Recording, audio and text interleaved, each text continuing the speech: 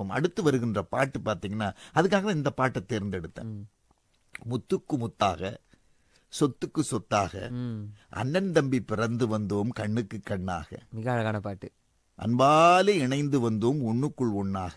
அதுல ஒரு வரி வரும் அடுத்தது ராஜாக்கள் மாளிகையும் காணாத இந்த இன்பமடா.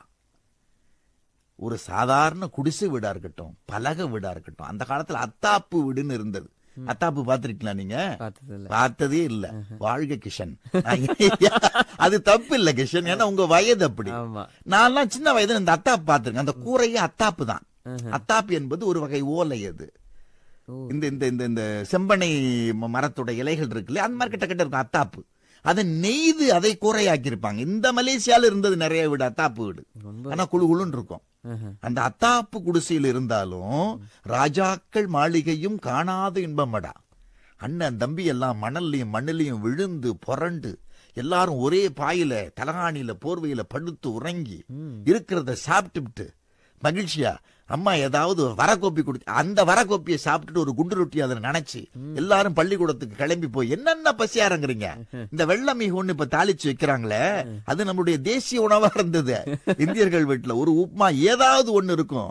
ஒரு கோதுமாவு அப்பம்.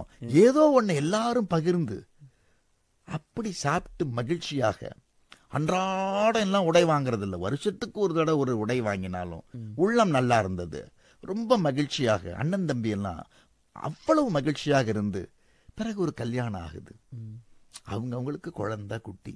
தவறு இல்ல எல்லாரும் பெரிய அவங்க அவங்க தொல்லை அவங்க அவங்களுக்கு.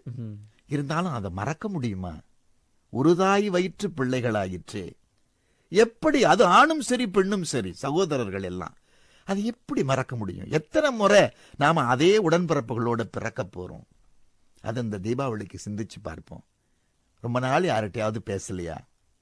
கைபேசியை எடுங்க. எப்படி இருக்கீங்கன்னு கேளுங்க. முதல்ல கொஞ்சம் கஷ்டமா இருக்கும். அப்புறம் சரியாயிடும். கூப்பிடாமலே அவங்க வீட்டுல போய் கதவை தட்டுங்க. உங்க அண்ணன் தம்பி அக்கா தங்கச்சி வீட்டுக்கு போறதுக்கு நீங்க யாருகிட்ட கேட்கணும். போய் நின்னு பாருங்க. சூழ்நிலை எப்படி இருக்கு அப்படின்னு. அம்மா கிட்ட பேசலையா? பேசுங்க. அப்பா கிட்ட பேசலையா? பேசுங்க. இந்த குடும்ப ஒற்றுமையை உறவை பேணுவோம். காரணம் நாம் வாழ்ந்த வாழ்க்கை இருக்க அது ராஜாக்கள் மாளிகையும் காணாத இன்பமடா. நாலுகால் மண்டபம் போல் நாங்கள் கொண்ட சொந்தமடா. ரோஜாவின் இதழ்களைப் போல் தீராத வாசமடா. நூறாண்டு வாழ்வதற்கான மாறாத பாசமாக அமையும் அந்த குடும்ப நல்லிணக்கத்தை பேணுவோம். இந்த தீபாவளி அன்று இந்த கோப இருளை நீக்கி அன்பு ஒளியை ஏற்றுவோம் வாருங்கள்.